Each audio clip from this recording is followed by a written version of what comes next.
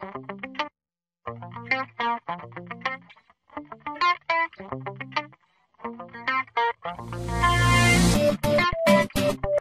YouTube, it's me, the Eaton Vids, coming at you with another YouTube video.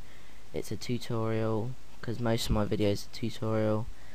Um, basically this is just a quick video, just to show you how to download songs that you want, any song, whatever.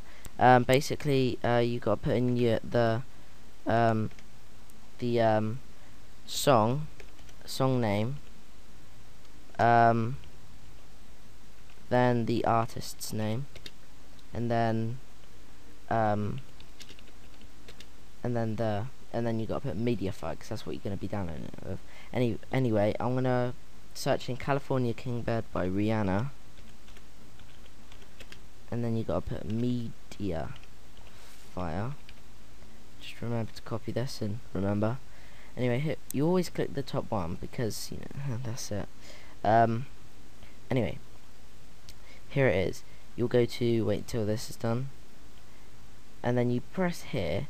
You download it. Obviously um, I can't download it because I've already done it.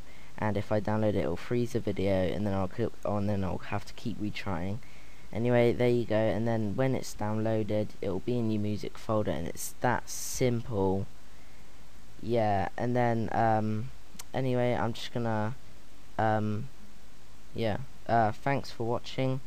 Um, just do what the next clip says which you already probably know because I always say it. And thanks for watching and goodbye